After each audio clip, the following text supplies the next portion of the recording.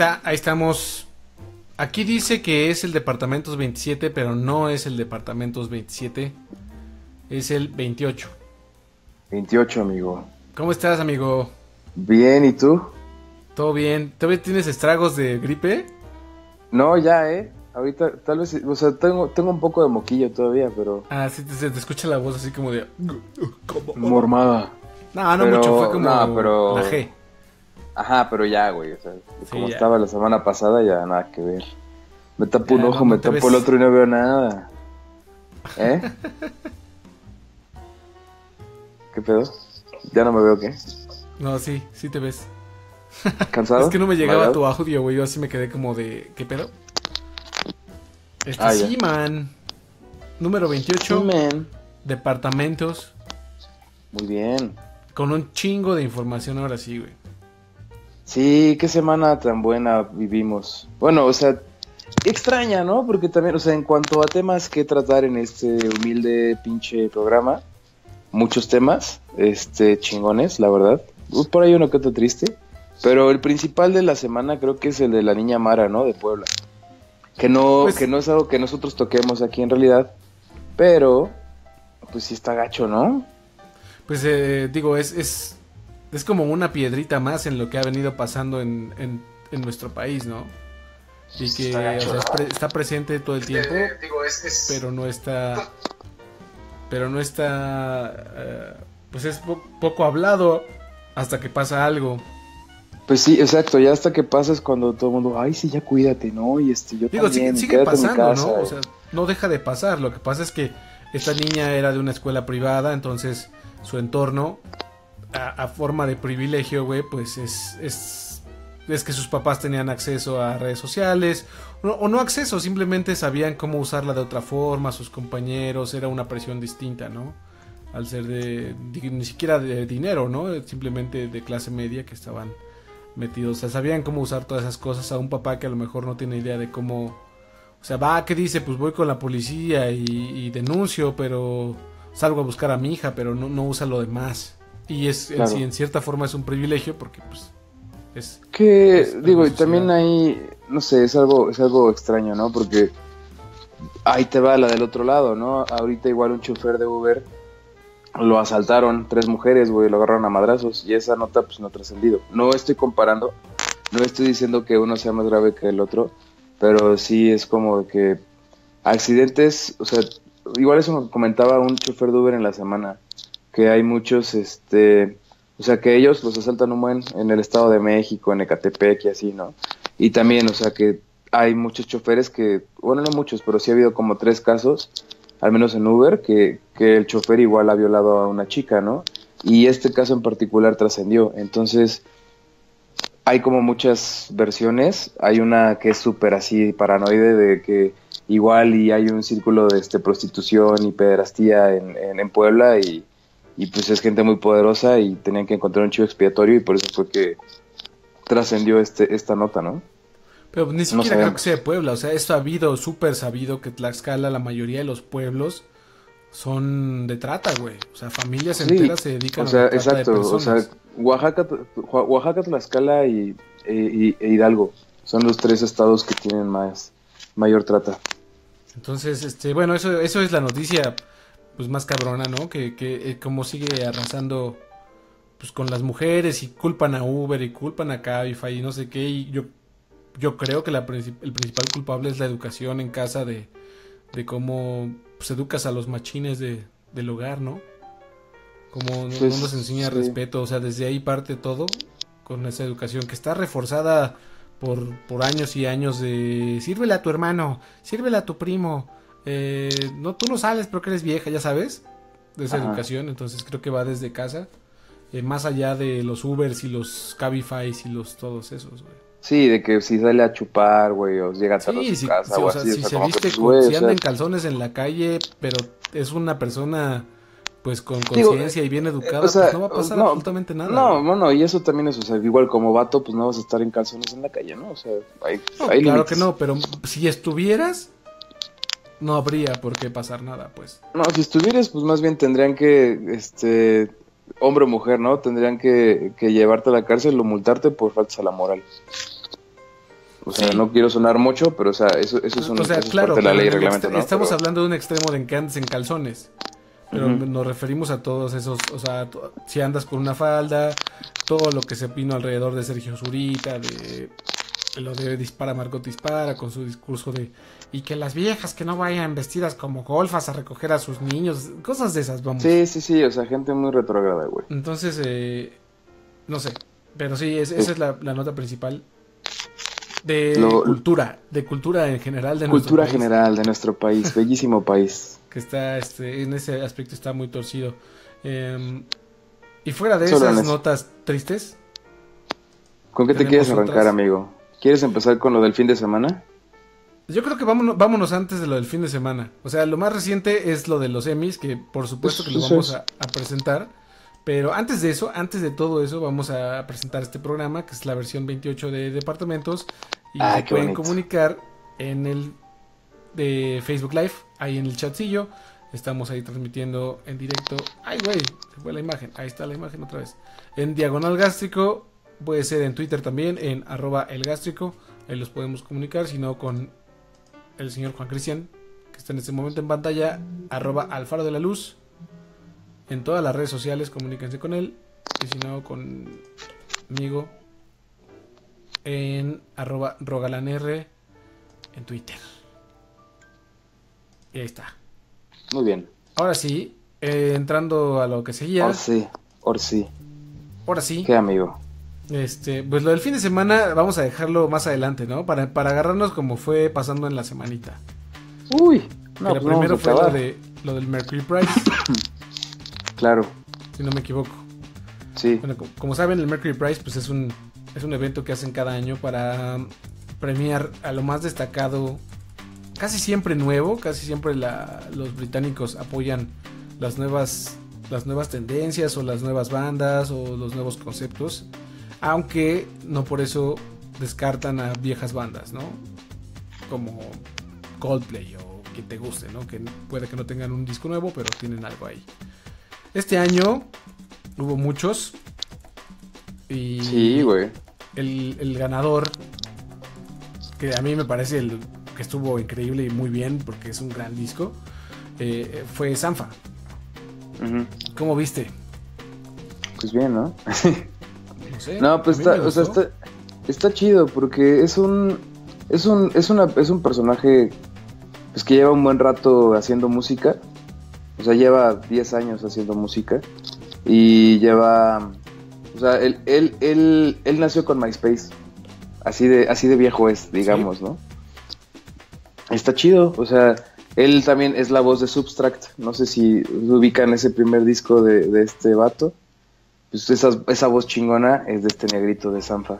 Exacto. Y pues aventó 10 años para aventar, para hacer su primer LP. Eh, y creo que es un es, es una bonita historia que contar, ¿no? Es, es muy, muy telenovelesco, muy cinematográfico, muy, muy ficticio, muy, no sé, ¿no? Como dicen eso de este, pasa en la vida, pasa en la vida, eh, pasa en la, en la tele, pasa en la vida real. O sea, es como, es como la onda con este cuate, ¿no? O sea, Sanfa decide hacer este disco Progress porque pues, se muere su mamá. Tiene muchas Process, cuestiones ¿no? como Process, tiene cosas muy tristes. eh, pues, dedicado a, a- a- a su proceso, ¿no? A, esta onda de que perdió a la madre, su periodo de recuperación, volverse a sentir bien consigo mismo, este salir a flote con la música y pues qué final más perfecto que ganando un premio tan representativo para los ingleses, ¿no? Que viene siendo el Mercury Prize. Sí, y que cada que, que llega la ah, pues la, la nominación, que salen los artistas nominados para el Mercury Prize, a mí me, me, me da mucha risa, pero como las, las listas de, de reproducción se empiezan a llenar de bandas que hace un día o dos nadie topaba, ¿no? Así como que, "Oh, no mames, ¿a poco existían? Lo cual está chingón. Eh, sin embargo, creo que Sanfa tuvo la fortuna de, desde finales del año pasado, empezaron a sonar sus sencillos y al menos si siguen Gástrico regularmente, pues seguro se enteraron de, de algunas canciones de él y de otros más que estuvieron nominados, ¿no? Y la neta que estuvo muy chido, que, a mí me, me dio mucho gusto que ganara porque es un gran disco. güey. Sí, sí es muy bueno, sí es, pues es R&B al final del día, pero pues esa voz es privilegiada. O sea, creo que eso es, eso es, En mi humilde opinión, ¿no? Creo que esa es la virtud más grande que tiene ese, ese proyecto, la voz. Porque no, o sea, musicalmente pues no, no hay nada diferente, no hay nada nuevo. Pero, este, pero sí, pero su voz sí es algo especial. A mí me y gusta está mucho padre premiar algo especial. Sí, sí, sí, pero, o sea, creo O sea, que creo no. que eso o sea, tiene no- mucho que ver, güey. Justo la Sí. de My Mother's Piano, creo que se llama. Sí, Es justo. una, es una gran canción, güey. Claro. Y, y si la oyes y dices, no mames, qué chingón, güey. Yo digo, igual voy a pecar de, de mamón y que también pasa mucho con el Mercury Prize, ¿no? O sea, es lo mejor del año. No quiere decir que va a ser esa canción en particular o el disco en particular trascendente y, y en 10 años va a ser un referente o alguien lo va a seguir escuchando o algo por el estilo. Pero sí es un muy, muy, muy buen disco, ¿no? Esa es la realidad. Sí, Es- la neta es que está buenísimo. Justo sacaban cifras de los, los ganadores al Mercury Prize que más, que más han vendido a lo largo del, de la vida, digamos. Y el que está en número uno es el Whatever People Say I Am, That's What I'm Not del, de los Arctic, Arctic Monkeys. Monkeys. Que es bastante reciente, güey. O sea, para la historia igual- del Mercury Prize. Pero igual tiene mucho sentido, ¿no? Sí. Bueno, que les tocó igual una transición extraña a ellos. Y, fue, y ellos son creados 100% en la web, güey. O sea, 100% también era MySpace. Sí, Ellos- justo, justo, justo eso es a lo que iba, o sea que... de la música fue como... Exacto, o sea, como que a ellos les tocó el, pues todavía, como, o sea, digamos que es una banda millennial, güey, aunque suena muy pendejo, durísimo. porque Pues sí, millennial, Sí, es la Pero, o sea, o sea, les tocó exacto la transición de, de este, el digital y, y vender copias, güey, o sea, todavía poder vender discos y, y hacerte famoso con, con el internet, ¿no? Hacerse cuando famoso ahora, pues- justo eso, con el internet, güey. Que, que de boca en boca se iba rolando sus rolitas ahí en, en el MySpace y tocando ahí con todo, todo vía web, todo vía web, güey. Entonces, eso es bien valioso, creo. Para, Sí. Pero bueno, fue Sanfa. Sanfa, si no le han entrado al Process, el, el primer disco salió en enero de este año, o sea que ya tiene más de medio año y aún así ha sobrevivido. Hay muchos discos de ese de esos meses que ahora ya nadie los escucha, ¿no? Pero este, este sí y chingón que pudo pudo ganar. Así es. De ahí más adelante en la semana, Papazuli, pues se nos murió un señor. Un, Y yo un sé que, yo sé viejito que quieres chido. hablar del señor. Sí, Harry Dent Stanton, que seguramente lo ubican dos personas. Este, Nah, sí, yo creo que sí es ubicable. A lo mejor no como O nombre, sea, pero. no como nombre, o sea, físicamente sí, y ese era su atributo más importante, ¿no? Es Sí. un actor que podríamos decir que es un, es un actor de reparto, ¿no? Nunca fue, o sea, no, no tiene el físico para ser un actor estelar, ¿por qué? Pues porque no es guapo. Este, pero esa es su virtud también más grande. Eh, su película más exitosa por la que la gente que le gusta el cine lo ubica, pues es por París, Texas, de Wim Wenders. Este, cuando Wim Wenders todavía hacía películas y no documentales, ¿no? O sea, igual ya tiene un chingo, güey. Sí, Este, señor era grande, o sea, se murió noventa y tantos, ¿no? se murió a 91 años en Los Ángeles, de viejito, hasta donde tengo entendido. Que está bien, ¿no? O sea, y todavía, y de hecho todavía este año, eh, a finales, a finales de mes, se estrena otra película de él que se llama Loki, que dicen, dicen que es la, que, pues, es la más chi- la interpretación más chingona que ha tenido en mucho tiempo. Que igual valdría la pena que ver, ¿no? Y pues... que verla porque pues, incluso hace poquitito estuvo todavía. ¿Es Twin Peaks? Estuvo Exacto, todavía en Twin Peaks en la serie salió. de 90 y Todavía en la serie ahí apareció y pues... ah, o sea, trabajó con directores increíbles, ¿no? Estuvo con Ridley, Ridley Scott, estuvo trabajando en, en la primera de Alien, este, co- en Rescate Nueva York, que es una película terriblemente buena, eh, de John Carpenter, que seguramente muy pocos lo ubican también, que es cine tipo B. Este, La chica de rosa, escrita por John Hughes. eh, La última tentación de Cristo. Loki. Claro, Loki, mucha pero gente la todavía recuerda tiene que la pasión de. Cristo, la última tentación de Cristo. Exacto. Sí, con este Martin Scorsese, ¿no? Y William Ujú. Dafoe. Eh, y pues por ahí, si no me equivoco, también sale en El Padrino. Por ahí como actor de reparto así como muy, muy poquito, ¿no? Y pues, o sea, tiene, tiene una lista interminable de, de, este, de papeles. Y creo que él era un actor de actores, ¿no? Así como hay este músicos de músicos. Sí, O sea, de eso de que la gente común y corriente pues no, no lo topa, pero o sea, sí, en el gremio era muy respetado, ¿no? Y, y tenía ese match difícil de hacer que pues era respetado tanto en el gremio como del cine de autor o cine de arte como en el cine comercial. Y pues ya, se nos fue el señor Harry Benton. Digo, Harry yo creo que muy bien vivido, ¿no? Y muy bien filmado y noventa y tantos años. 91 añitos. estamos viendo justo un slide con fotos y con cosas de él a lo largo de su carrera. Digo, ya adulto y algunos. Pero no ha salido ni una donde está viejo, güey. No, sí, creo que en el principio. Lo cual este, habla de su trayectoria enorme. Pues los 80 fue, fue su época, su década, en realidad. Ahí fue donde tuvo muchísimo más trabajo. Y David Lynch, que también, pues, o sea, fácil, ahorita no recuerdo las películas, pero se aventó fácil tres películas o cuatro de, las de David Lynch y pues aparte de Twin Peaks, ¿no? O sea, si era como de sus actores fetiche. Así como esta señora Laura, Dern, que también le encanta a David Lynch trabajar con ella. Con este, también le gustaba trabajar mucho con Harry Dean Stanton. Pero pues sí. Sí, sentí una pequeña lagrimita. Así, el, el, día que lo vi fue como... Mm, y ya quiero ver Loki. A ver cuándo se estrena aquí en México. Yo creo que llega hasta octubre, si bien nos va. Sí, si bien nos va, justo lo dijiste, ¿Quién sabe? Pero sí. ¿Quién sabe? Sí, ¿Quién sabe? sí va a llegar. Sí, o sea, va a llegar así que al Diana, güey, a este, a, al Casa de acá a la Cineteca, Casa de Arte, o sea, sí. No creo pero si llega al final está chido, ¿no? Sí, si no, pues siempre bendito stream, ¿no? Está ahí. Para tirar paro. Digo, está mal que lo recomendemos, pero nos encanta streamear a, nosotros aquí en, en, Gástico, ¿no? Pagamos cuando podemos porque nos encanta todo, pero cuando no se puede, pues ni pedo, ¿no? No te quedas con las ganas. No, la verdad es que no. La verdad es que no, Pues ahí está, se nos murió Harry Dean Stanton. Y eso fue en la semana pasada. Eso pasó en esos momentos. Y de ahí, ¿quieres, ¿quieres que brinquemos a los semis? Date. ¿Cómo ves? Vamos. Porque si no se nos... O sea, ya llevamos 20 minutos de programa con estas ah, dos noticiones. Y los semis, pues la neta es que es un chingo de cosas, güey. Pero no vamos a entrar súper a profundidad, ¿no? No, pero hay, hay varios highlights chingones, ¿no? Bueno, empecemos con tu highlight favorito, ¿no? Este, The Handmaid. Handmaid, que tu serie que recomendaste eh, con, con este Uñimu, con, bueno, con muchas ganas un par de veces en, el programa. pues ganó mejor serie dramática, ganó un, yo no sabía que existía ese premio, ¿Cómo se llama la, la actriz principal? Ay, no me acuerdo. Tengo en la cabeza And Out. Bueno, la, la, chica de este de, la que salió de, Mad Men.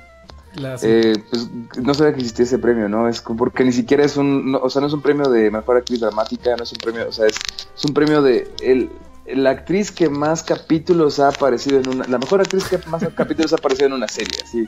Está muy raro ese premio. Elizabeth Moss se llama, creo. Ajá. Sí, y, o sea, ese premio, sí sí, sí. está súper extraño ese, ese, ese, ese, reconocimiento que ganó ella. Y también y una, una, la señora, este, quiero pensar.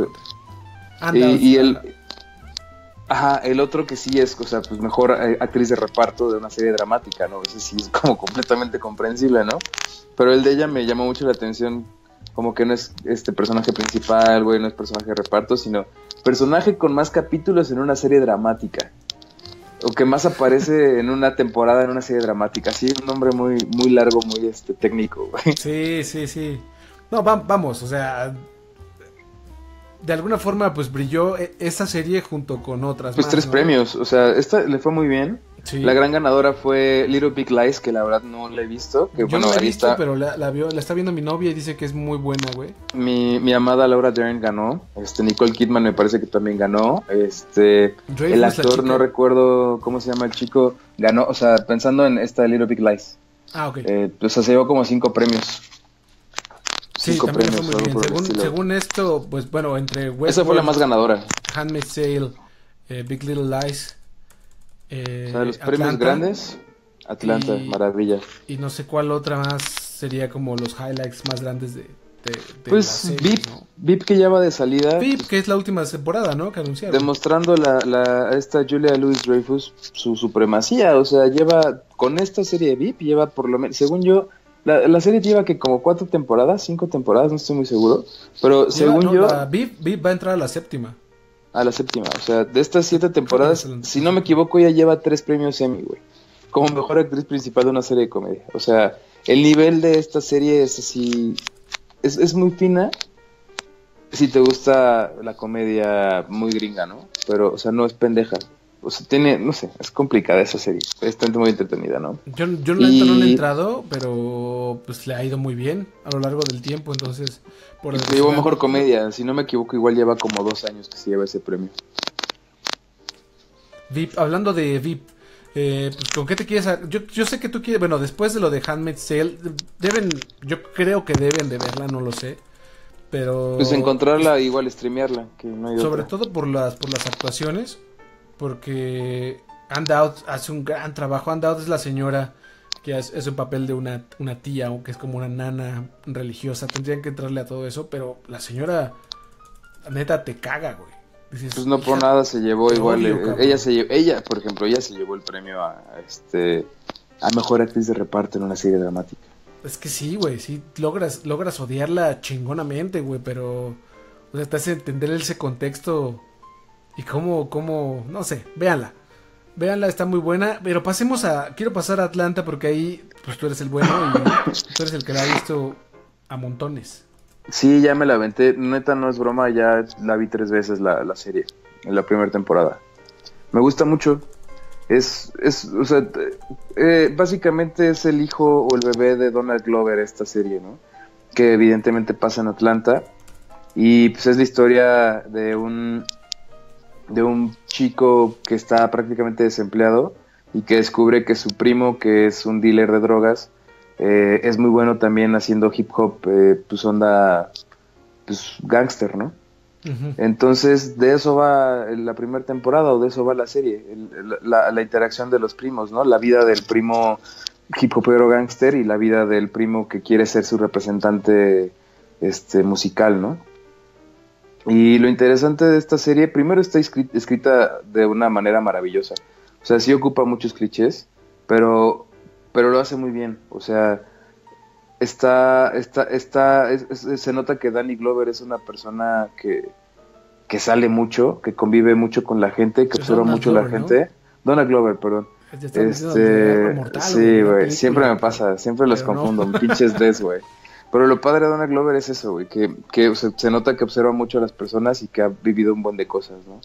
Em, hay un capítulo en particular que en algún momento Modern Family lo intentó hacer, que era un capítulo donde toda la familia está, está hablando por, este, o sea, la mamá, la güerita, en, en Modern Family pues, tiene la pantalla de la computadora y en esa pantalla pues está hablando este, pues, prácticamente con la tecnología de, del iPhone, ¿no? Hablando con, por FaceTime con, con la familia eh, o mensajeándose por ahí, ¿no? Esa es, esa es la manera en que ellos juegan con esa, con esa tecnología.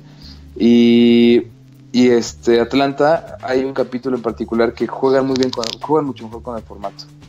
Em, es, es, eso y pues la, eh, ganó dos premios, ¿no? Ganó mejor actor de comedia que se lo llevó Donald Glover y ganó también mejor director eh, de una serie de comedia también Donald Glover. Que insisto, este vato. Es, que exacto, es productor, escritor, actor y director. O sea, es, es todo lo contrario. unos programas que él venía haciendo cosas chidas y diferentes, ¿no?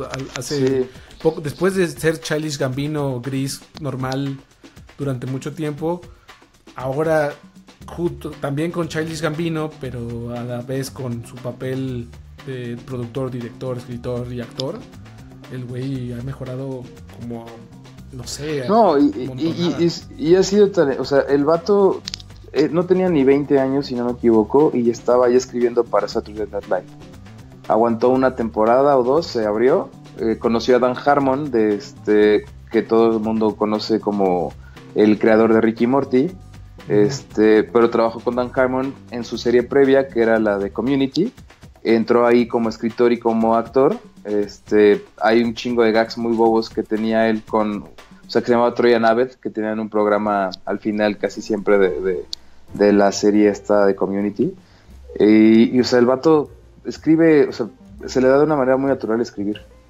Y lo mismo, o sea, se fue de Community por ahí de la tercera temporada o cuarta y Community se hizo una mierda, güey, porque se le fue pues el actor que, que daba como buen, buena vibra y, y este y también pues, su- uno de sus escritores más fuertes de la serie, ¿no? Hizo Atlanta y también la rompió bien cabrón, o sea, es un chavo que tiene mucho ángel y tiene mucho talento. Sí, la verdad es que pues lo tenía muy guardadito, ¿no? O sea, no, bueno, más bien Mm. lo estaba cocinando. O sea, pues su- supongo que tenía tiempo. la idea, exacto, o sea, tenía, o sea, Polo es un vato que observa mucho y pues al final del día no es lo mismo trabajar para alguien más y tener que escribir historias que se pelote- pelotean entre, no sé, o sea, pensando en cómo funcionan estos, estos lugares. Por lo regular son unos 5, 6, 7 escritores los que están trabajando este, en, una, en una serie, ¿no? O, en, este, o incluso en un capítulo a veces se lo escriben entre dos o tres escritores, ¿no? Y son las ideas de los demás y, partes igual de, de un de algo que ya existe, ¿no? Acá pues él le dieron carta blanca y, y la aprovechó, lo aprovechó y es algo igual que yo le reconozco mucho a FX, que de las series que más me han gustado los últimos años, pues son, son de ahí. O sea, se atreven a se atreven a- a darle la oportunidad a mucha gente de hacer televisión interesante y de calidad. Pues está buenísimo porque pues desde el año pasado ya veníamos escuchando mucho de Atlanta, ¿no? De, de- de este. Sí, de incluso aquí ya hemos hablado y recomendado esa serie cuando recién este eh, terminó ese esa prácticamente iba terminando cuando nosotros casi íbamos empezando el programa. Sí, sí, entonces está, está chingón que ahorita estén, eh, pues siga para arriba y vamos a ver qué onda, qué pasa, qué pasa con él y qué pasa con, bueno, sobre todo con su música. Él dijo que ya iba a salir, ¿no? Que ya iba a morir Charles Gambino. Pues por ahí está que No sé va a si sacar a un mixtape con Chance the Rapper, ¿no? Sí, Por pero, ya no- como Charles Gambino todavía. Se supone que muere Charles Gambino, no sé si para que nazca como Donald Glover o para que nazca con otro seudónimo. O sea, vamos, en la música de entrada él ya dijo va a cambiar este pedo de alguna forma y pues me imagino que también es para darse tiempo de escribir más cosas y de actuar en más cosas. Ya salió también en la de Spider-Man como uno de los ratillos Saldrá- que, que el, que el personaje es importante, o sea que volverá a salir. Entonces, pues vamos a ver qué pasa con él. Saldrá como Lando en este eh, la, la precuela o no sé cómo llamarlo, el origen de este Han Solo también. Fíjate, no sabía. No tenía Sí, lo es la- Cambió de, de. ¿no, esa película? Cambió de director, ahora es Ron Howard, si no me equivoco. Este, y sí, es que el director original pues estaba haciendo una comedia muy, muy comedia, güey, o sea, muy fuera de, de- de lo que es el universo Star Wars. Entonces, Yo como pues, no soy nada de universo Star Wars, o sea, no, no, no me molesta, no, No, nada, pero igual no pues, la soy- verdad es no que soy- no le he entrado lo suficiente. No soy fan, pero pues sí era como la nota que estaba de modita hace un mes, yo creo. De que cambiaba O sea, había chingo y chingo y chingo de cosas así. No, Que primero, o sea que... de poner, hablando de Star Wars, hablar, acaban de nombrar hace una semana a J.J. Abrams como el director del, Ah, cap- claro. del episodio 9 y la gente hoy, o sea, una semana después, ya puso una, una petición para que lo, lo tumben, güey. No lo quieren Sí. el director. Pero también Ah, va ¿no a lo ser el quieren? escritor, o sea que va a ser un poco difícil, ¿no? ¿No lo quieren de director? Eso no sabía. No sé si Yo no sepan que- que... también la va a escribir, pero Yo pensé que la gente estaba contenta de que él fue el director, que no querían, que no les había gustado el, el director para esta que va a salir en, ¿qué? ¿Es en diciembre o el próximo año? No estoy seguro. Pero bueno, Bueno, el chiste es que así se quejó la gente y bueno, pues yo creo que J.J. Abrams es lo más safe, ¿no? Por eso lo pusieron. es lo suyo, es lo suyo. O sea, a mí, a mí no me molesta su, su, No, su verdad, dirección. no. O sea, no me fascina, pero me, o sea, pienso en la de Super 8 y me gusta mucho esa película. Sinceramente, se me hace una muy buena historia con niños, la verdad. Está Entretenida, bueno, a pesar pero- de, a pesar de sus limitantes, pero sí me gusta mucho. Regresando desde a ahí- los... Dime, Eh, a los semis, este, ajá, pues hablamos de un Atlanta, par de, hablamos de Handmaid's Tale. eh, ¿o ¿Quieres aventar un poco en VIP? Yo no sé la neta de qué va Mm, VIP. pues, pues, o sea, básicamente es, es, es, es esta vieja siendo una perra. O sea, recordémosla a ella en, en Seinfeld. en Seinfeld y o este New Sí. Adventures of Old Christine también. Este, pero aquí pues es, es como si fuera esta, ¿cómo se llamaba? Powell se apellidaba, la, la republicana. Bueno, o sea, básicamente, sí, eh, ya me acuerdo ahorita. Bueno, pero el punto es que es, esta mujer trabaja pues, en, la Casa Blanca y es una perra, güey. O sea, es, es, una, es una mujer empoderada. Es como, no sé si... Ajá, es como el personaje de Ali Baldwin en, en la de Theory Rock. No, sí se llama Theory Rock. Que era el programa de NBC que, que este... Chingale. Perdón. Sí, sí, sí, perdón. Disculpen. el, el programa de, que, que, salía que salía Tina Fey y salía este Alec Baldwin, que era una comedia. Y Alec Baldwin era un jefe súper, o sea, como buen pedo, antipático, irónico, sarcástico y que traía en chinga a la gente. O sea, que desde este lado te da mucha risa, pero siendo su empleado es como hijo de tu pinche madre, ¿no? Pues son empleados emasculados, ¿no? Eso es lo interesante también. Su asistente es un es un güey que es un horror attention. Bueno, no, más bien es un este de estas personas que necesita que le estén dando una palmadita, o sea, que le estén que le estén tratando mal para que le reconozcan su trabajo y no importa hacer menos. Este, y ella pues sabe aprovecharlo perfectamente, ¿no? Y la dinámica es genial porque pues la permiten a ella ser un, un personaje fuerte que eso es algo, es algo interesante y creo que por eso igual ha ido muy bien, porque pues no hay muchos papeles femeninos donde una mujer esté completamente empoderada y esté en un papel principal, ¿no? Por lo regular, si encuentras ese tipo de mujeres en la serie, son, son este programas donde hay cinco o seis personajes importantes, no, no uno solo. Y eso creo que es lo que le ha dado mucho a que VIP, primero que nada, viviera siete temporadas y segundo que funcionara también. ¿Y por qué la terminarán si es tan exitosa, güey? Pues supongo que es un pedo como acá de nuestro cuate este Donald Trump, güey. ¿Crees? Pues sí, es que, o sea, se burla del gobierno, o sea, del mal gobierno, güey. Entonces que se quieren ir safe los güeyes de la pues televisora para... Seguro. Pues todavía le faltan tres años a ese cuate, ¿no? Sí, más, un poquito más. Pero sí. Digo, acaban de pasar sus seis meses, ¿no? Entonces. Ah, eh, claro. ¿Quién sabe, güey? También siete, siete temporadas es mucho, ¿no? Seguramente ya les pagan un chingo y. Y. Bueno, o pues sea. Las ideas de la comedia luego se desgastan cabrón. Güey, Big Mac Theory va por la doceava, onceava temporada, güey. Pero es más, más densa, ¿no? Güey, pero sigue ahí, cabrón. Y justo, o sea, ¿cómo justificas que es tan pendejo, güey? Sí, no mames. O sea, hay un documental de YouTube muy bueno, güey, de Los Simpsons. O sea, que había un programa bien chingón en los 90 que se llamaba The Simpsons.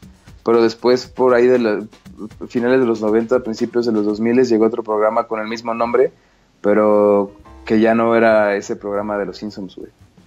Está muy bueno. Y sí, te cuentan todo, ¿no? O sea, eh, eh, escritores muy chingones. Estaba Conan O'Brien en esa primera camada de escritores. creo que hizo solamente tres, tres episodios. No mames, escribió, ahí, ahí estuvo como cuatro, tres años más bien, estuvo trabajando este como, como escritor en Los Simpsons, como guionista. Fíjate, yo había leído que, que, estuvo en una casita del terror y que son, son pocos episodios los que en realidad hizo, pero sí estuvo en la primera camada de, de escritores. De escritores. Sí, pesó en todas esas primeras temporadas que, o sea, de la 1 a la 5 eran, y, sobre todo la 1, ¿no? O sea, fue con la que enganchó todo y decías, no mames, pues ¿qué es esto, güey? O sea, dicen que de la 8, en la 7 empezó el acabose. La 8 ya casi no había nadie del equipo original y después pues la cagada que conocemos, ¿no? O sea, ya es chorrillo. todo está mal, pero pues sí, evidentemente no es lo que era cuando, cuando lo empezamos a ver. Y digo, y hablando de guiones, o sea, de lo importante que es un guion, eh, pues también Master of None, si no me equivoco, el único reconocimiento o premio que ganó fue a mejor guion en una serie de comedia. Eh, y es un capítulo increíble porque, o sea, la temática es muy buena, pero la forma cronológica en que lo van contando y el momento que eligen para contarlo es fantástica. Es el capítulo de Thanksgiving que lo escribieron. ¿Segunda temporada o, sí, segunda? Segunda temporada, segunda temporada. Lo escribieron Lina White y Aziz Ansari. Lina White es la, amiga negra que sale en la serie con, con Aziz Ansari.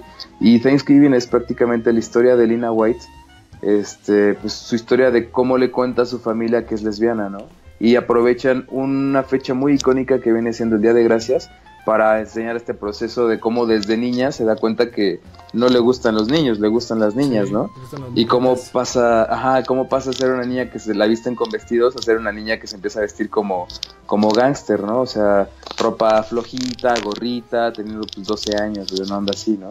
Y así el proceso de cuando lleva la primer novia, cuando lleva otra novia, otra, otro Thanksgiving, otro Día de Gracias, que es una vieja, pues, o sea, la, la típica negra, este, que, no sé, que se llama Ferrari, güey, o cosas así, ¿no? O sea, Ajá. super gueto, güey. O sea, no sé, es un capítulo bastante interesante y, y, y bueno, lo mismo, ¿no? Lo importante de escribir un, un, un- una buena historia. Y mira que Eso- esta serie... También ganó, no sé si le has entrado a Black Mirror completo, pero ganó uno. Ah, también, ellos Junipero, ganaron... Junipero. Ellos ganaron este mejor este mejor filme. Mejor telefilme ganaron por San, San Junipero, que es el que es el este el capítulo de No lo vi, güey. que a, to- pero- a todo mundo a todo mundo le gustó ese capítulo o bueno o sea está muy bueno. Es yo yo me recuerdo me hizo acordar a mucho Futurama porque ahí lo hay un capítulo donde te hacen te haces viejo o estás a punto de morir y te congelan y meten tu conciencia a un programa. O sea es un tipo un tipo igual como Matrix sabes y en esta Matrix, pues tú convives con gente. Entonces, lo interesante de este capítulo, lo sorprendente de este capítulo fue que, pues, ahí hay, o sea, hay varios antros, ¿no? El antro de los 80, el antro de los 90, de los 70, 60, bla, bla, bla. Y una chica conoce a otra chica en uno de los antros y le empieza a buscar y, y en, este, y, y en este proceso de ir descubriendo, eh, o sea, brincando de temporada en temporada o de antro en antro, pues te sacas de onda, güey, porque dices, güey, ahorita, o sea, este antro de los 60 se llama música disco y ahora estamos en los 80 y hay música, no, creo que de no recuerdo quién es, este, igual el soundtrack de ese capítulo en particular, o más bien el score de ese capítulo en particular también está increíble, güey. Eh, está, no sé, está muy bueno eh, eh, esa historia de, de cómo son dos chicas que se conocen y, y aparte viene un problema más grande porque una, porque aquí es una onda igual como que hablan de la eutanasia, de que te tienes, o sea, de que puedes decir si te quieres morir o no te quieres morir. O sea, hay gente que visita tres semanas a ver si le gusta y si no, pues los matan. Y si no, hay O sea, gente que tiene su conciencia ahí para de que siempre. conocen a los antros es en el programa este virtual. Exacto, o sea, es gente que está en, en la Matrix, güey, hace cuenta. O sea, ya no tienen cuerpo, ya tal cual, solamente están viviendo con su Tienen su, o sea, tienen su cuerpo exacto, pero ya es gente terminal o gente vieja, que pueden mo- morir por eutanasia o que pueden seguir viviendo ahí su conciencia y fine, no pasa nada. Entonces, es un capítulo, o sea, es una historia, es, es un, es un concepto trillado, o sea, ya, si te gusta la ciencia ficción, ya lo has ubicado, ya lo has visto. Mucho.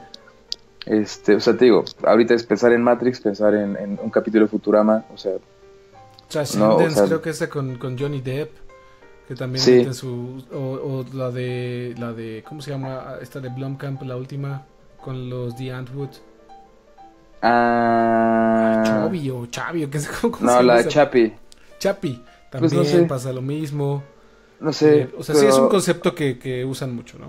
Ajá, pero lo padre aquí es que pues sí le dieron la vueltita y pues sí está, está interesante y, y se llevó a final del día este premio de este mejor telefilme, ¿no? Porque, o sea, al final del día es esto, ¿no? Pensándolo en que sí es una, es, es una película, güey. O sea, sí, sí hay un score, que de hecho el soundtrack, o bueno, el score está disponible igual para comprarlo eh, en vinil, evidentemente. Puedes descargarlo igual en iTunes, puedes escucharlo en Spotify. Este, la, el arte que con, el que trabajaron igual está fantástico. ¿Por qué? Porque tienes que hacer esta ambientación de diferentes décadas y que sea muy, o sea, que sea muy evidente, pero sin que caiga en, en lo caricaturesco, ¿no? Que está, está genial. Eh, el guion igual es bueno, este, porque te hace preguntarte estas cuestiones de quieres vivir o te quieres morir, te hace sentir realmente el, el, el amor que puede existir entre estas dos chicas. Eh, y pues juegan mucho con tu conciencia, ¿no? De que te hacen preguntarte, pues, güey, ¿cómo es que está cambiando tanto este, este ambiente? Y después te van explicando y te lo van develando y es, está, está, está, está bien hecho en, en muchos sentidos, ¿no? Por eso tiene todo, todo, Que en Toda la general es el matiz de, la, de, de Black Mirror en general, ¿no? Que te, te- O sea, vamos, cuando yo empecé a ver Black Mirror sí fue como, no mames, estoy viendo esto y... Pues el primer episodio, la primera temporada fue como que... "Ugh". O sea, entonces en Sí. general es lo que pasa con Black Mirror. Y qué chingón. Sí, estamos viendo en pantalla un poquito del, de ese capítulo. San Junipero. Y pues básicamente es lo que nos cuenta Cristian, ¿no? Entonces, chingón. Que ellos, ellos también se llevan un premio. ¿Y quién nos falta por ahí? Me decías Westworld, ¿no? Yo la verdad no he visto la serie ni vi qué premios ganaron, la verdad. Yo vi a la chica que... Que no, no me acuerdo ni de su nombre. Es una negrita muy guapa. ¿Ella ganó? Que es una de las... Es una de las... Sí, pero ¿qué, premio ganó? De las robotcitos. Mira, estamos buscándola aquí en... ¿Ganó el premio mejor vestida en, este, en, en la pasarela? ¿O, cuál? no sé. Yo solamente. Porque no, no, no, recuerdo que, ganara algo. Sandy Newton. Bueno, ahí lo estamos viendo en pantalla. Pero si no, no recuerdo, amigo, que, que yo hubiera ganado algo. Igual estoy este, yo muy pendejo. A lo mejor yo soy el que la, me gusta tanto que le estoy poniendo premios. Porque, o sea, o sea le, vamos a, le vamos a dar el premio a mejor vestida de la pasarela, este, de la alfombra roja quién sabe. La verdad, la verdad es que no vi su vestido, no vi nada. Pero ahorita te digo los nominados. Pero bueno, eso era lo que lo que yo sigo buscando. Eso era básicamente lo que teníamos que ver de los em Grammy Emmys. Emmys. Este, no, amigo. No, ¿verdad? No, sabes, no. Les estoy mintiendo. Nos estabas tomando el Bueno, a los que tienen pelo, les estabas tomando el pelo. Híjole, cálmate, güey. Mira, aquí tengo los, todos los winners. Todas las salchichas. And out. Deep. Clover. Alec Baldwin. Nicole Kidman. Kate McKinnon. Que esa, esa mujer igual bajita la mano, pero qué buena comediante es, ¿eh? Es este... Es que es... Tiene un humor muy difícil, pero está muy bueno. O sea, sí, sí juega mucho con, con la gente, digamos. O sea, es, es ruidosa, pero también es elegante. Es, o sea, es una combinación complicada su comedia. Sí, me, se me hace interesante. No, Como que les estaba mintiendo. Era la mejor vestida, amigo. Eso, eso fue lo que ganó. Ganó mejor vestida en este en E-News. Qué, qué malo era el, post alfombra roja en E-News, güey, ¿eh? No tengo idea, güey. Tiene años más que bien el post premios. Así le, pues se estaban viendo y salía un programa de ay los highlights, ya sabes. Ajá. No mames, güey, sí es así de penita, güey. Lo vi como cinco minutos y dije, híjole, gracias, güey. Qué chido que lo cubrieron, poca madre, pero ya lo siempre. más nos lo podríamos ahorrar. Siempre, siempre lo cubren y siempre tienen que criticar porque ese es, por eso les pagan. No, sí, claro, no, digo que no se critique, lo, cabrón es la forma, ¿no? Sí. ah, ¿sabes qué, de qué estábamos hablando y qué está buenísimo? ¿Te acuerdas que hablamos del primer eh, corto que, Ah, claro, güey. Que dirigió el hijo de Ridley Scott. Luke Scott se llama. Eh, sí. De Blade Runner 2036, que es algo posterior a lo, que pasó en la primera eh, Blade Runner. Y nos explica un poco qué va a pasar en la que sigue, que es 2049. Pues ya salió en la semana justo el próximo director. Es que está raro, ¿no? O sea, este señor. Lo están haciendo. Se me hizo muy como extraño o sea, me llama la atención cómo, cómo ya, o sea, de todo hacen una, como una campaña, ¿no? O sea, para este, para, para, el primer cortito no hicieron como mucho, ¿no? ¿Sabes? O sea, fue, salió y ya, ahí está, ¿no? Los medios fue, fuimos los que estuvimos ahí, pero, Ay, qué chingón, pero en realidad no. Ajá, pero, pero, o sea, los, salió y ya estaba, ¿no? Y ahorita sí hay, hay un, este, como teaser, tal cual de, este, bueno, eh, el, que, el que va a hacer este nuevo, el que va a hacer este, este nuevo este cortito, va a ser una animación de entrada, va a ser anime. Y va a ser este Shinichiro Watanabe. Watanabe, que pues si, si son tan tetos como nosotros, lo ubicarán por este, por Cowboy Bebop, ¿no? Que es una, es una serie pues es una serie anime de este en el espacio básicamente. Del ¿no? siglo pasado, que no solamente es, es de las mejores series en cuanto a historia, sino que tiene un soundtrack increíble, güey. La razón por que todo el mundo quiere un corgi ahora, güey. no, bueno, o sea, los Bueno, textos igual, ya les alcanza. Watanabe, Es el que lo va a dirigir. Y pues ahí, ahí decía el vato, ¿no? Que eh, una de sus películas favoritas es Blade Runner y su inspiración más grande, de sus inspiraciones más grandes para hacer la serie Cowboy Bebop, pues fue este Blade, Blade Runner. Y por eso es que pues lo invitó el director y, y está muy emocionado y bla, bla, bla. Sí, que es un honor Y- para ese güey. Digo, para cualquiera que lo inviten a hacer eso, ¿no? Definitivamente. Este, la música la va a hacer Flying Lotus, que también está pues, Sí. muy de nivel, creo. De El nivel, 26, sí, güey. 26 de septiembre se estrena. Y pues te acuerdas que estábamos hablando, ¿no? De. O sea, güey, neta, se ve que le metieron varo a esto, güey. O sea, Es que ya. justo Porque lo que te acuerdas que. estábamos diciendo, ¿no? Que Especulábamos sacaron eso, ¿saben cuál es su público? ¿Saben cuál, cuál va a- ser el público que los va a ver, güey? Pero, güey, sí dijeron, están aventando si una pega. lana, güey. O sea, Vamos güey. a ver si pega y ahorita ya lo están sacando hasta con teasers, güey, ¿no? Ahorita estamos O sea, viendo un cachito de Cowboy Bebop, para que se den una Güey, idea. o sea, de, de esta, de, de este blackout, o sea, de este, de este nuevo corto, pues no van a ganar nada. O sea, estos cortos no están ganando dinero, güey. Están monetizando entonces- seguramente en YouTube, ¿eh? Sí, sí, No, Pero, o digo, no sea, es muchísima lana, pues no. pero sí lo están viendo muchísimas personas, güey. O sea, pero, o sea, la realidad, güey, es que para, al menos, o sea, esto es animación. Y por muy poco que dure, van a ser al menos unos 5 minutos. Y yo no creo que se, den, se estén gastando menos de un millón de dólares, güey, en hacer ese, ese, este, ese, ese cortito, güey. O sea, Sí, sí, es no, no, lana y lana y lana que, o sea, me sorprende lo que es- desde ese día. Me sorprende mucho lo que le está invirtiendo este estudio a, a esta, a esta película y es de aplaudirse, güey, que el director haya tenido la habilidad y los huevos para, para venderlo de esa manera, ¿no? Porque no Pero creo que el creo estudio se le haya ocurrido que- algo por el estilo. Lo que, es un poco lo que hace Game of Thrones, ¿no? Que eh, saca contenido, ahorita que va a tardar como año y medio. Pero, pero, o sea, eso, eh, güey, ahí, ahí no, no es tan difícil. Ahí son entrevistas en un, este, o sea, solo es tener buqueados a los actores para poder hacer esas, entre- esas entrevistas, güey. Pero, ya todo ah, lo que pero además material de eso- de stock, güey, behind the scenes, o sea, no hay nada, no hay nada extra, güey. No hay una producción que implique, o sea, un trabajo cinematográfico que no está pensado para estar dentro de la película. Pero O dentro del justamente hoy proyecto. sacaron una, una animación, güey. Hoy están sacando una animación que se llama Game of Thrones Conquest and Rebellion. An ¿Ah, sí? Story of the Seven Kingdom. Que es una animación muy sencilla. Y la van a sacar junto con el DVD Blu-ray. Y es una serie de episodios que son animados y se, se- se sitúan 400 años antes de lo que estamos viendo en la serie. Ahorita les pongo, a ver, aquí lo tengo.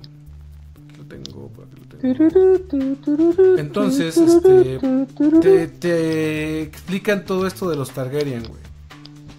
La parte en la que ellos, su hija de este güey, como que sueña lo que va a pasar. Y se van a Dragonstone. Y todos los demás Targaryen y sus dragones se mueren. Y ellos son los, los únicos que quedan. Ahí estamos viendo en pantalla un poquito. El primer capítulo lo soltaron. Son como dos minutillos. No, es un poquito más. Eh, son cuatro y medio de video. Y te cuentan básicamente esta parte, ¿no? Que les estoy diciendo. Y todo lo demás va a salir en el DVD Blu-ray. Y eso también, pues está chido, porque también se gastan lana. Eh, tampoco es nada, no van a recibir un peso más lo que moneticen, quizá, ¿no? En- Pero, güey, si lo van a incluir en el Blu-ray. ¿Cómo? o sea, pero como dices tú, lo van a meter en un Blu-ray. Sí, O sea, digo, para los ahí clavados que les gusta lo sí. físico, pues chido, ¿no? Pero si no, pues va a haber torrentazos de esto, güey. Hasta en YouTube va a estar, seguramente, güey. Sí, seguro. Entonces, este, pero bueno, son cosas que se agradecen también y que se aplauden, ¿no? Que, que le entren con cositas extras que saben que se van a tardar un chingo. Y pues lo de Blade Runner también está chingón. Además de tener directores buenos, pues son contenidos extras que pues, no nadie te da, ¿no? No, güey, que se agradecen mucho. Ahí estuvo esta parte de mm, el Watanabe, que ya no me acuerdo de su nombre. ¿Cómo se llama?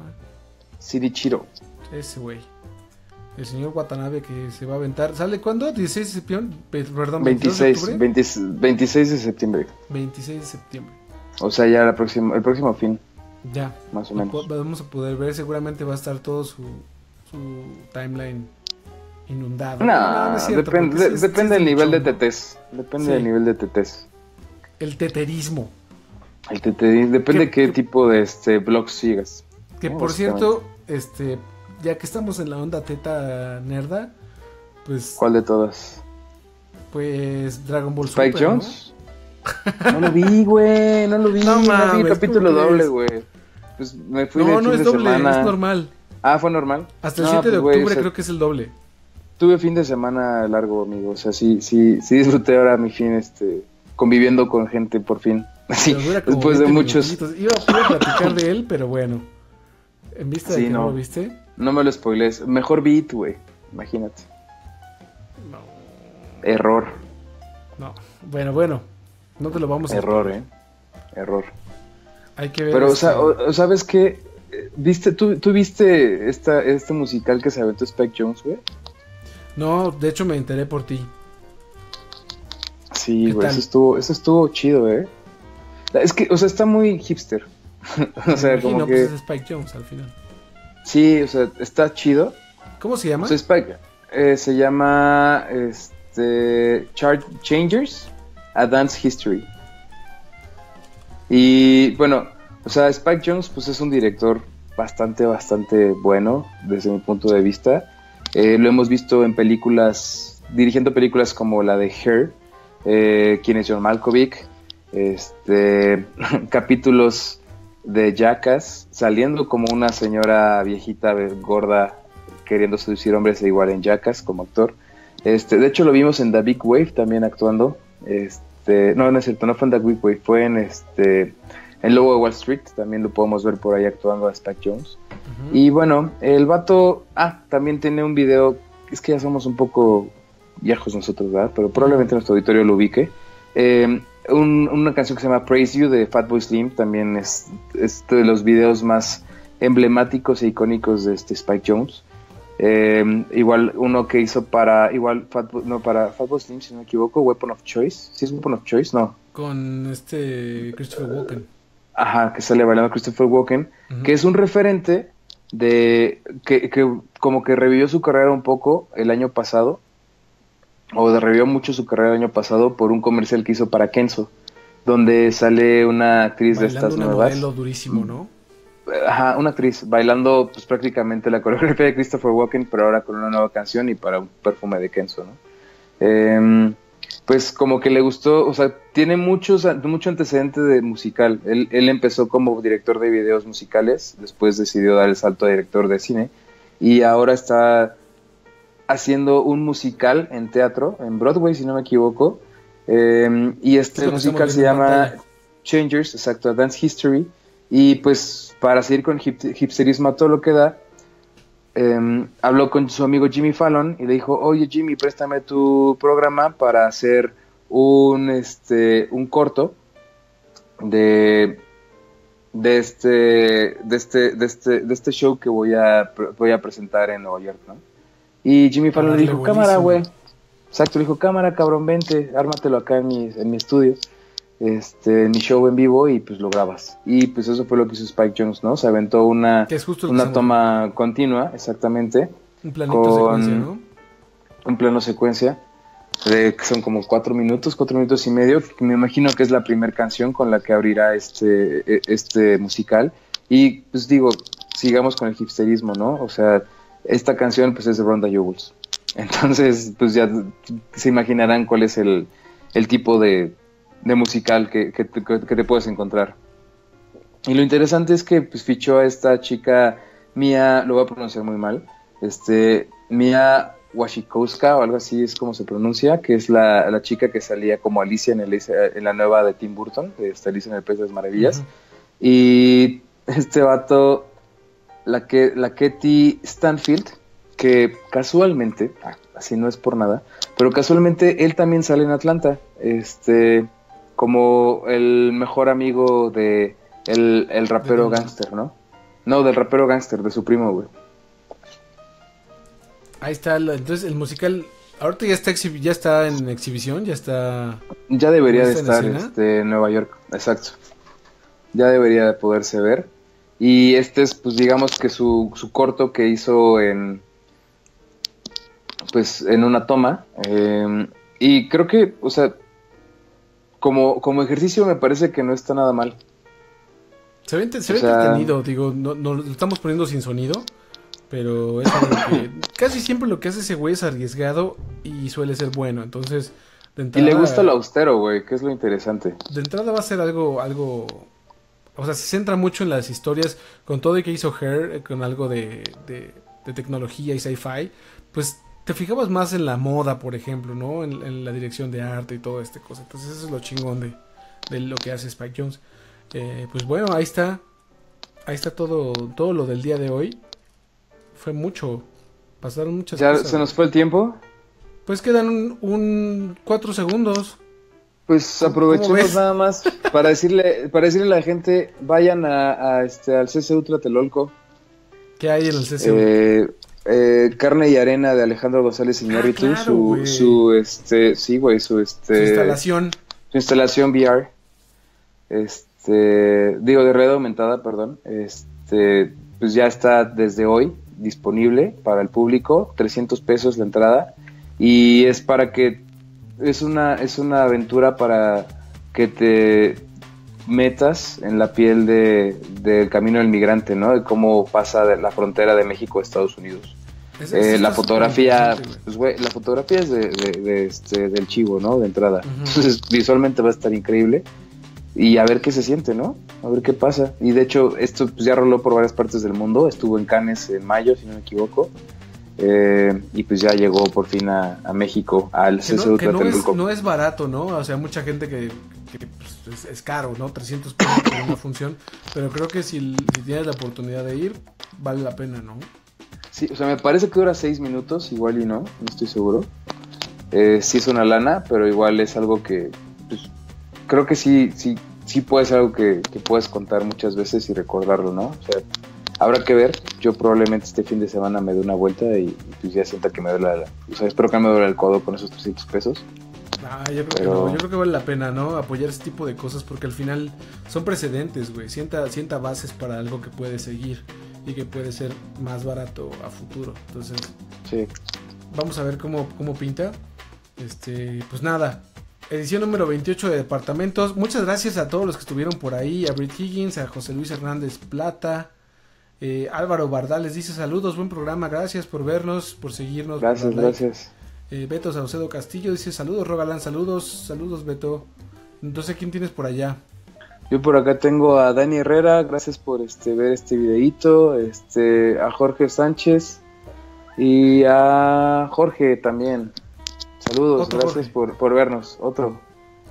Otro Jorge que le Saludos a todos ellos, gracias por, por, dejar comentarios, por este pasarla bien por acá un rato. Y pues ya saben, comuníquense con nosotros. ¿qué, qué...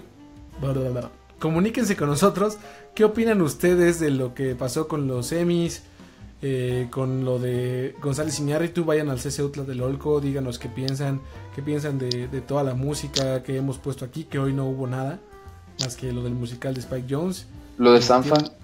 Bueno, lo de Sanfa el Mercury Prize. ¿Quién les hubiera gustado? Eh, comuníquense, eso pueden hacerlo ahí donde lo hicieron los demás, en el chat de Facebook Live. Que en el chat roulette. Nuestro sitio en Facebook es Diagonal Gástrico. Está también en Twitter, arroba el gástrico.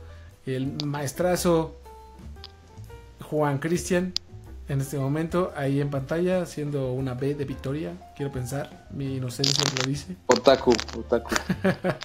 Alfaro de la Luz, arroba Alfaro de la Luz en todas las, redes sociales.